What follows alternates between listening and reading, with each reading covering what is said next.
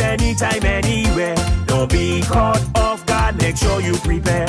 Hurricane, earthquake, a tsunami. Fire and flood threaten your safety. Danger approaching, pay attention to the warnings and advisories. Your essential life items packed and ready, so you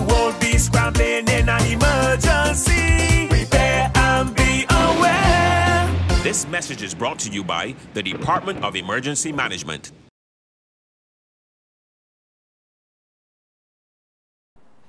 Good day, and welcome to another edition of Real Talk in the Face of Danger, a podcast brought to you by the Department of Emergency Management. I am your host, Marcus Myers, and today we're going to be delving into a very interesting and intriguing topic the role of emergency services in tourism.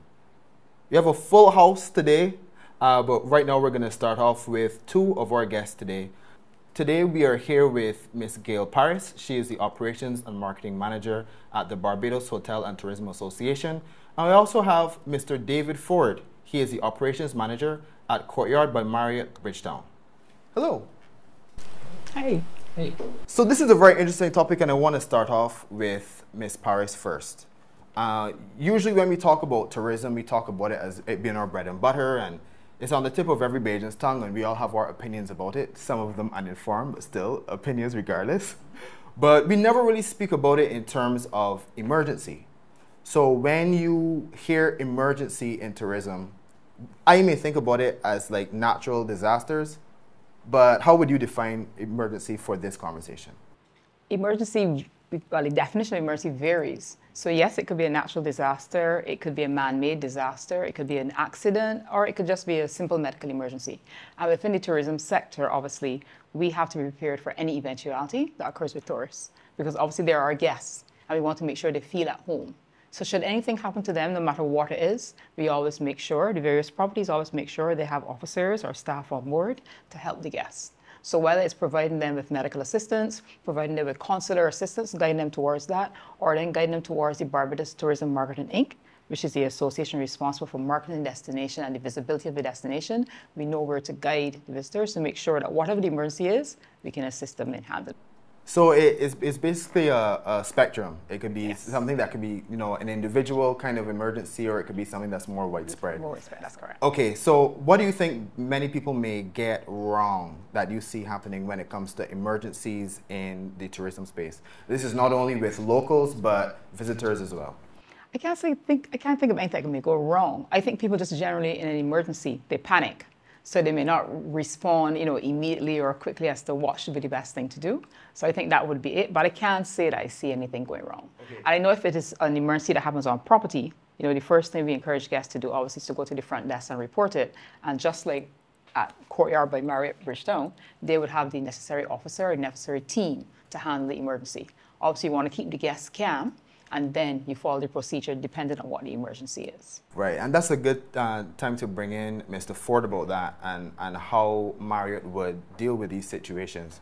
So, when we speak about it from an organizational perspective, when it comes to emergencies, how do you prepare for that? Well, Marriott being a global um, leader, we have a lot of policies in place to really cater for different sets of emergencies. If there are medical emergencies, we have a setup where our property alone always have first aiders on site and that comes 24 hours that is where we will have each department having someone going through the first aid training to ensure that in event of any medical emergencies we have someone to as Gayle highlighted calm the guests down and then move into our procedures accordingly. Now, again, it varies on the type of emergency. Emergencies can lead down to guests thinking they're having a heart attack. You know, there are some choking. There can also be slip and falls.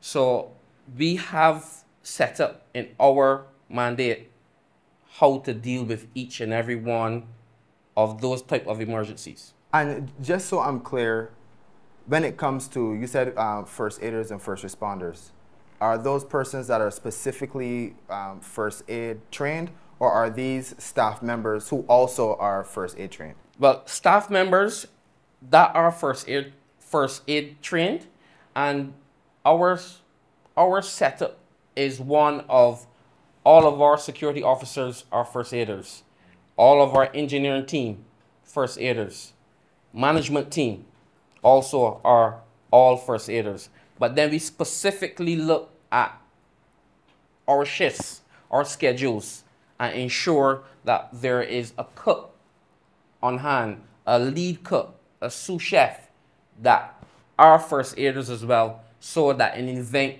as I said, anything happens, someone is close by to ensure that we have that response time down to a minimum. Then, sorry, we're going to add to as well. There are also many properties that either have a medical have a medical person like a doctor on board, especially high-end properties. They may actually have a doctor that's on property, or they have a doctor that they can call on a dime in, in the event of a medical emergency. There are also some properties that may also have psychologists, for example, on property, because you know, as he said, you can have a guest who may think they have a heart attack or have a heart attack. You may have guests who may drown on pool. You may have guests who may actually die on property. These things do happen, God forbid and they always have to have persons on call in case of emergency. So some hotels do have psychologists on board or bereavement counselors on board to handle any of those eventualities as well. So how do hotels determine um, what their team would comprise of?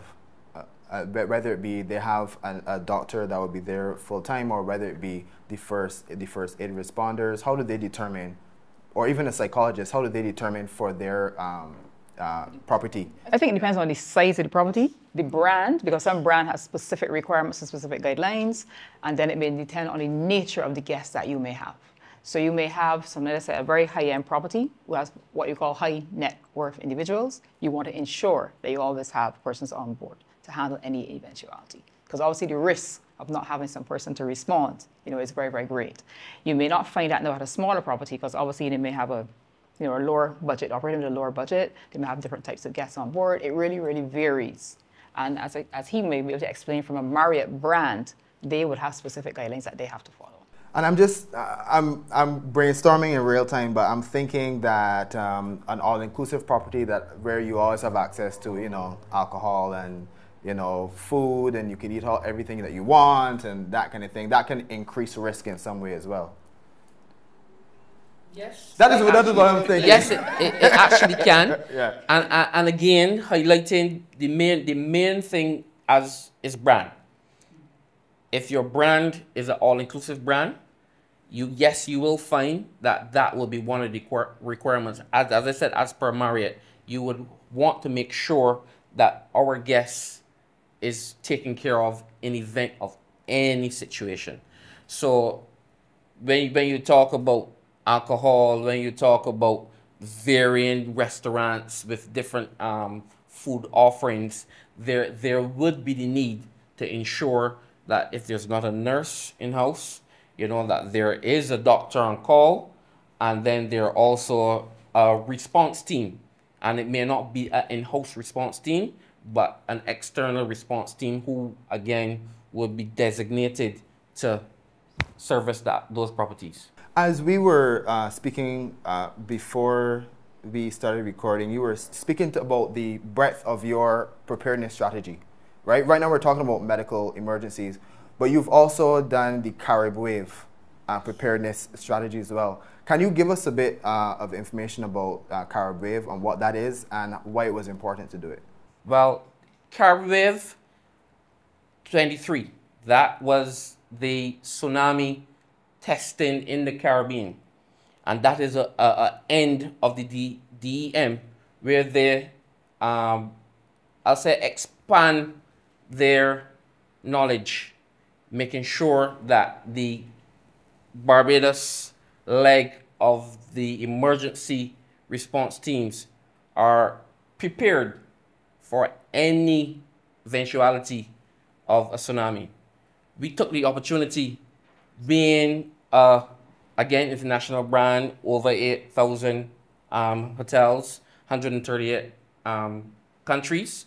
we took that opportunity to partner and get involved in this exercise because we not only see it as a know-how to help our guests in the event of an emergency, but we looked at it for our associates, our staff, getting them fully up to speed, knowing you never know.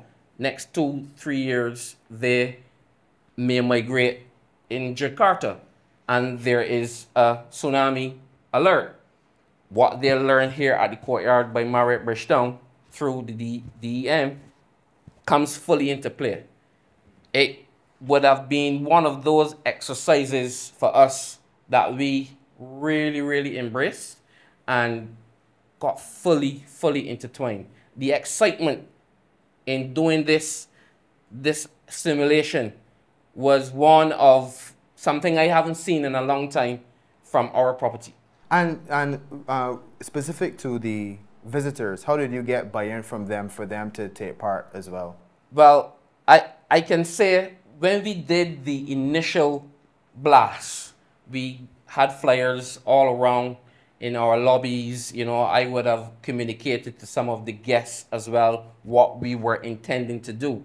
And I had about 10 to 15 that coming out of Trinidad, Port of Spain um, courtyard, they were a little disappointed of the timing because they would have not been on property when it would have occurred. But our in-house guests, they embraced it. They got involved. They wanted to know the time. They wanted to know if there was any specific um, locations that they had to meet in reference to, to start this simulation. It was just now communicating to them how our procedures go, which is you hear that alarm go and follow our wardens. We, what, we, what we do is that we created a situation where we had floor wardens and they were directing persons to the evacuation routes. And during that route, then we would have had other wardens then moving all of the evacuees out of the property up to Harts Gap onto the safe zones. So it was really a smooth transition and having the guests involved, as I said, that then brought a little more enthusiasm out of our associates. Our, our staff really then wanted to not only be a part of it, but wanted to show our visitors, we got this. Yeah. Yeah. We got this. I think it's a good opportunity to also test your response mechanisms yes. to see how well your teams work because a lot of the properties also have safety and security committees who respond to any emergencies.